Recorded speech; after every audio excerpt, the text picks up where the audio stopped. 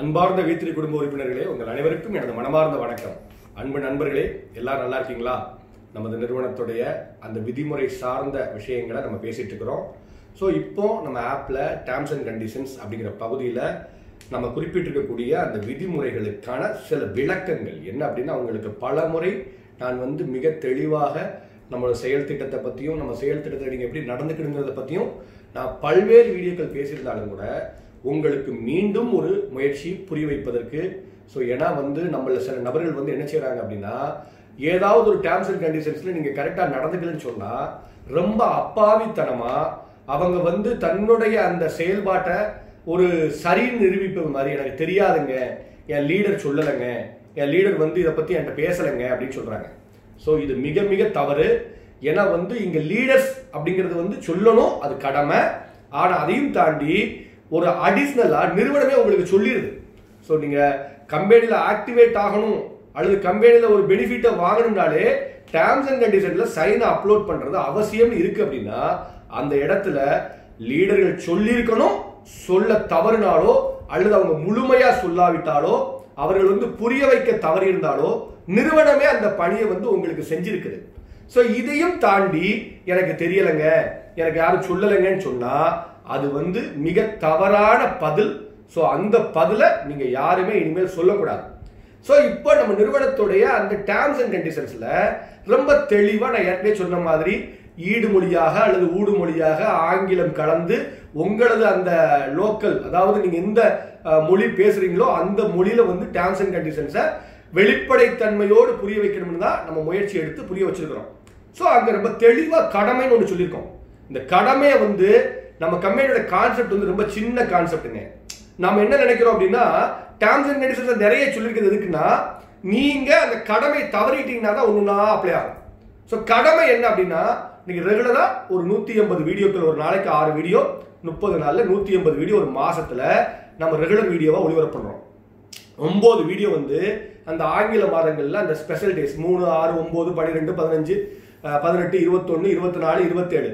முப்பது தவிர்த்து மூன்றில் மடங்குகளில் வரக்கூடிய அந்த ஆங்கில மாதத்தில் நைட்டு வந்து ஒரு ஒம்போதரை மணிலேருந்து பதினொன்றரை மணி வரைக்கும். அதில் மிஸ் பண்ணால் கூட அடுத்த சாய்ஸாக காலையில் நாலு மணிலேருந்து அடுத்த நாள் காலையில் நாலு மணிலேருந்து அஞ்சு மணிக்குள்ள அதே வீடியோ மறு ஒளிபரப்பு பண்ணுறோம் ரெண்டில் ஒன்றை பார்க்கணும். இப்படி ஒரு ஒம்பது வீடியோ ஆக நூற்றி எண்பத்தொம்போது வீடியோ உங்களுக்கு உங்களுடைய ஆப்பில் வந்து நம்ம என்ன செய்யணும் ஒளிபரப்பு செய்கிறோம் ஸோ இந்த நூற்றி எண்பத்தொம்போது வீடியோவை நீங்கள் என்ன செய்யணும் அப்படின்னா முழுமையா ஒரு முறையாவது ஒரு வீடியோவுக்கு ஒரு முறை முழுமையா பார்த்து அது சார்ந்த கருத்துக்கள். அந்த வீடியோல என்ன நீங்க புரிஞ்சுக்கிட்டீங்களோ உங்களுக்கு வந்து எழுத படிக்க தெரிஞ்சிச்சுன்னா நீங்க டைப் பண்ணலாம். எழுத படிக்க தெரியலன்னா மைக் உங்களுடைய லோக்கல் லாங்குவேஜ்ல மைக் அங்க ஒர்க் ஆகும். ஸோ அந்த மைக் மூலமா ஒரு ஃபீட்பேக்கை நாலு வார்த்தை குறையாம சொல்லணும். ஸோ இதுதான் டாஸ்க் நீங்க டாஸ்க்கை வந்து ரொம்ப ஈஸியா புரிஞ்சுக்கணும். நூற்றி எண்பத்தொம்போது வீடியோ உங்களுக்கு ரிசீவ் ஆகுது. அந்த நூற்றி எண்பத்தொம்போது வீடியோவையும் அந்த குறிப்பிட்ட கேப்பில் வந்து நீங்கள் வந்து ஒரு அலாரம் அல்லது வந்து உங்கள் லீடர்ஸ் ஞாபகப்படுத்துறது மூலமாகவோ அல்லது வந்து செல்ஃபாக வந்து அதை மனசில் பதிய வச்சோ நீங்கள் என்ன செய்யணும் அப்படின்னா அந்த வீடியோவை பார்த்துடணும். ஸோ அந்த வீடியோ பார்த்ததுக்கு நீங்கள் ஃபீட்பேக்கும் நாலு வார்த்தை குறையாமல் அந்த வீடியோ சார்ந்த கருத்துக்களை நீங்கள் பதிவிடணும். ஏன்னா அந்த ஃபீட்பேக் எதுக்கு வாங்குறோம் அப்படின்னா நீங்கள் அந்த வீடியோவை புரிஞ்சுக்கிட்டீங்களா? அந்த வீடியோவில் என்ன புரிஞ்சுக்கிட்டீங்கன்னு கேட்குற கேள்விக்கான பதில் தான் அந்த ஃபீட்பேக் ஸோ அந்த ஃபீட்பேக்கில் நீங்கள் வந்து அந்த வீடியோ சார்ந்த கருத்துக்களை பதிவிடணுங்கிறதும் அந்த இடத்துல கோடிட்டு காட்டியிருப்போம். ஸோ இதை கரெக்டாக செஞ்சுட்டா அடுத்தடுத்த விஷயங்களை நீங்கள் தெரிஞ்சுக்கிட்டா போதுமானது. அது மேக்ஸிமம் உங்களுக்கு அப்ளை ஆகாது. ஸோ இதை செய்யலைன்னா என்ன அப்படிங்கிற விஷயங்கள் தான் நம்ம என்ன செய்யறோம்னா அடுத்தடுத்த வீடியோ அடுத்தடுத்த அந்த டேர்ம்ஸ் அண்ட் கண்டிஷன்ஸில் நம்ம தெளிவாக சொல்லியிருக்கிறோம். ஸோ அது உங்களுக்கு வந்து பயன்படுத்திக்கலாங்கிற வாய்ப்பு தானே தவிர நீங்கள் செய்ய வேண்டியது என்ன? மெயின் டாஸ்க் என்ன? நூற்றி எண்பத்தொம்போது வீடியோ நீங்கள் ஒரு முறை பார்க்கணும். பார்த்துட்டு அந்த வீடியோ குறித்த நான்கு வார்த்தைகளுக்கு குறையாத ஃபீட்பேக்கை பதிவிடணும். ஸோ இதுதான் உங்களுடைய டாஸ்க் இந்த டாஸ்க் கட்டாயம் செய்ய வேண்டிய டாஸ்க் நம்ம நிறுவனத்தில். இது ஒரு ஒர்க்கிங் பிளான் தான். இது வந்து நான் ஒர்க்கிங் பிளான் கிடையாது. இது இன்வெஸ்ட்மெண்ட் பிளான் கிடையாது. இதை வந்து நம்ம ஜாயின் பண்ணிட்டாலே பெனிஃபிட் கிடையாது. இது ஒரு ஒர்க்கிங் பிளான் உங்களுக்கு ஒர்க் ஃப்ரம் ஹோம் மாதிரி உங்களுக்கு வீட்டில் இருந்தே அல்லது நீங்கள் எங்கே இருந்தாலும் உங்க கையில் இருக்கிற மொபைல்ல நீங்க ஒரு ஒர்க் பண்றீங்க. ஸோ இந்த ஒர்க்குக்கு பின்னால கண்டிப்பா வந்து ஒரு பிளான் இருக்கு. அதாவது நான் கண்டிப்பா உங்களை மேம்படுத்தக்கூடிய அந்த பகுதியில் அது சார்ந்து உங்களுக்கு தெளிவுபடுத்தும் போது புரிவீங்க. இது எவ்வளவு பெரிய ஒர்க்கிங் பிளான் ஸோ ஒரு ஒர்க்கிங் பிளானுக்காக தான் உங்களுக்கு பெனிஃபிட் எங்கேருந்து வருது அப்படிங்கிறத நீங்கள் புரிஞ்சுக்கிறதுக்காக தான் இங்கே இவ்வளோ விஷயங்களை நான் பதிய வச்சிருக்கேன். அதுவும் கூட அந்த வீடியோ நீங்கள் முழுமையாக பார்க்கும் பொழுது நடுவில் நடுவில் என்ன அப்படின்னா வந்து உங்களுக்கு இந்த வீடியோ பார்த்துட்டு இருக்கீங்களான்னு சொல்லிட்டு ஒரு கொஸ்டின் வரும். அதுவும் உங்கள் லோக்கல் லாங்குவேஜ்லேயே வரும். நான் எந்த அளவுக்கு உங்களுக்காக யோசிச்சிருக்கேன்னு பாருங்க. அதாவது நீங்கள் அறியாமலோ தெரியாமலோ புரியாமலோ எதையுமே வந்து மிஸ் பண்ணிடக்கூடாதுங்கிறதுக்காக தான் நான் அவ்வளோ ஃப்ளெக்சிபிளாக யோசிச்சிருக்கேன். ஸோ அப்போ அந்த அந்த வீடியோவில் வந்து அந்த ஆம்ங்கிற அந்த பதிலை நீங்கள் அமுக்கணும். இங்கிலீஷில் எஸ்ன்னு பதில் அமுக்கணும். ஸோ இது வந்து என்னன்னா இந்த ஒவ்வொரு கேள்வியும் அந்த ஒரு குறிப்பிட்ட டயத்துக்கு இருக்க அந்த வீடியோ பேஜில் உங்களுடைய கண்ணை நிலைநிறுத்துவது மாதிரி நம்ம நிறுவனம் பண்ணியிருக்குது.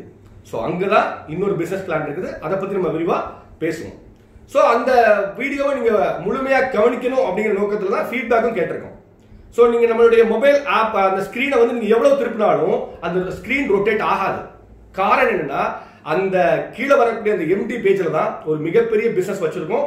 ஸோ அந்த பிஸ்னஸ் தான் உங்களுக்கு நிதி அதாவது வருமானத்தை தரக்கூடிய ஒரு பேஜ் ஸோ இப்படி நம் நிறுவனம் வந்து இன்னோவேட்டிவாக எதிர்காலத்தை எந்த அளவுக்கு வந்து ஒரு பொருளாதாரத்தோடு வந்து தொடர்பு படுத்தி யோசிக்க முடியும் அப்படிங்கிற அளவுக்கு யோசிச்சு தான் இந்த டாஸ்க்கை வந்து கிரியேட் பண்ணியிருக்கு. ஸோ டாஸ்க் இஸ் கம்பல்சரி இந்த டாஸ்க்கை வந்து செய்யல அப்படின்னா எந்த ஒரு பலனுக்கும் என்ன செய்ய முடியாது அப்படின்னா தகுதி பெற முடியாது. அந்த டாஸ்க்ல சம் லிபரல்ஸ் இருக்கு. அந்த லிபரல்ஸும் நம்ம டேர்ம்ஸ் அண்ட் சொல்லியிருக்கோம். ஸோ அதை பத்தி அடுத்த வீடியோவில் பார்க்கலாம்.